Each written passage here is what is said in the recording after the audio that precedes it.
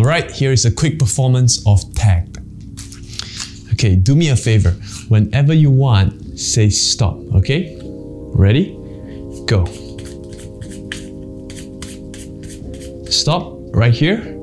Okay, remember this card. You got it? Okay, I'll put it flushed back into the deck and give it a few more extra mixes just to be sure. So your card is really lost there. I don't know where it is, but I'm gonna find it in a very special way.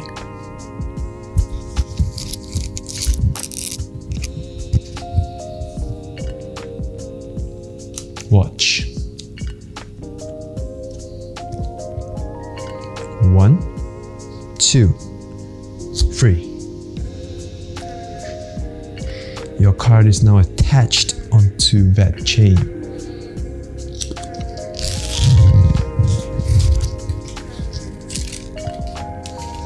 That, my friends, is tagged.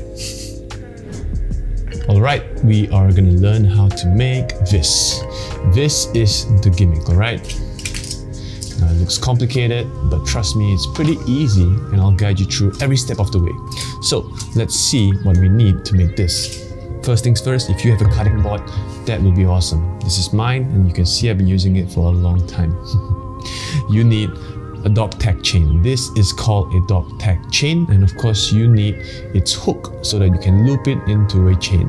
I'll leave links in the discussion on where you can buy this online. Next, you need this, very important. This is just a plastic sheet uh, that they use in files, paper files, right? So I just cut out a section of it and that's what it looks like. Again, I'll leave links to where you can find this online. And then you need uh, some scotch tape, that, scotch tape, simple scotch tape. You need a duplicate card, any card you can use, but I'm using bicycle. You need a pair of scissors, and of course a razor blade. And that's all. Let's start with the chain. As you can see, this is a very long chain, so you need to measure this according to your height. So what I normally do is I loop the chain around my neck and let it hang until right about there, the lower chest area. And then I just take the chain, I give it a, a quick snip, and then that is the perfect length. By the way, I am 6 foot tall.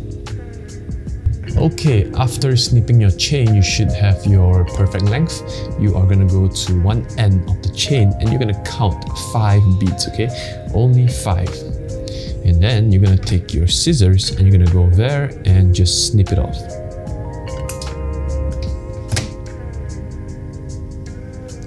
Keep this piece, we will use it later. Now that you've got this piece, we are going to construct this card, okay? So grab your duplicate card, grab your blade, and your plastic sheet. First, we're gonna start by cutting that card, okay? If you use bicycle cards, you will notice that at this particular area, there is an intersection of lines. We're gonna cut in an X shape right about there. Let me show you what I mean. So you're just gonna take the card and you're gonna cut very tiny X's just like that. Okay, just very small. Alright, just like this. You should see there are two X's here. You can't see it, but you can see it from the front, just like this.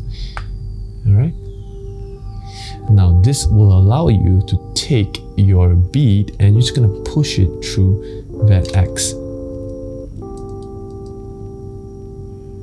Take your time and do this, alright?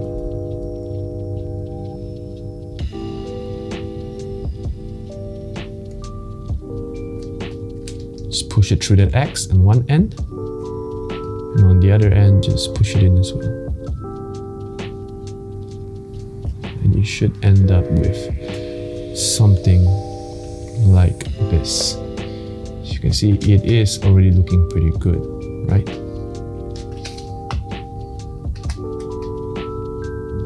Next, grab your plastic sheet and we are going to cut this plastic sheet as well.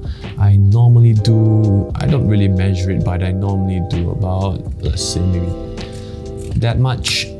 We don't need the rest, maybe that much. And it's a bit too much. We just cut a little bit more. Okay, we don't need that. That much, and that should be good to go. This is about, I would say, uh, 5 cm by 0.5 cm. Okay, once again, 5 by 0.5 centimeters. Next, we are gonna fold this plastic sheet, okay? So you wanna take the plastic sheet, and what I normally do is I wanna fold it just about there.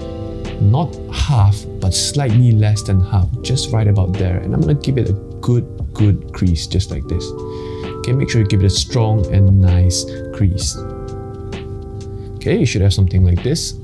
A short end and a long end, okay? Next, take the short end and just fold that top down just a little bit, about half a centimeter or so. Fold that top end down just like that and give it a good crease. Okay, you should end up with something like this. So you have that, that, and a long end, right? Something like this. And make sure you really give it a good crease, all right? Put it down on the table and really crease it good.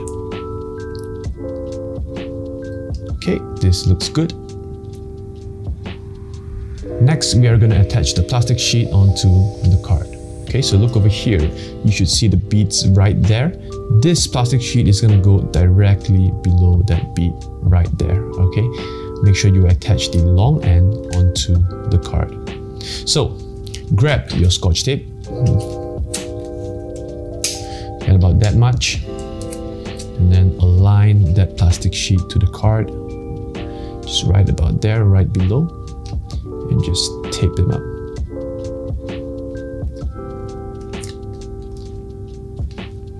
Okay, something like uh, something like this. Tape it nice and good. Do a few more times. I like to tape it twice for security purposes. And there we go. That is it. That is the gimmick. After that, just give it one more good crease at the end there and this is good to go.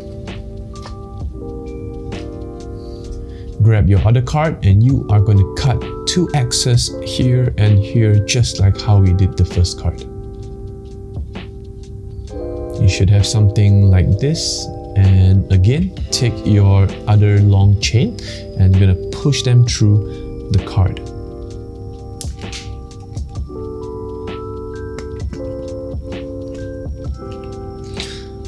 but this time pull them all the way in.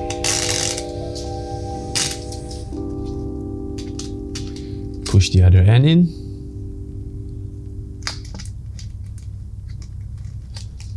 And pull it all the way.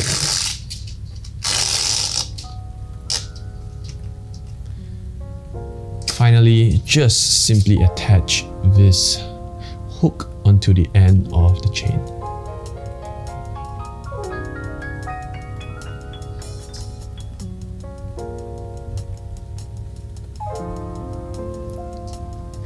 This gimmick is complete.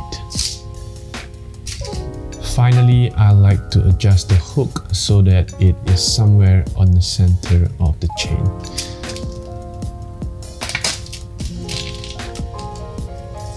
Right about there.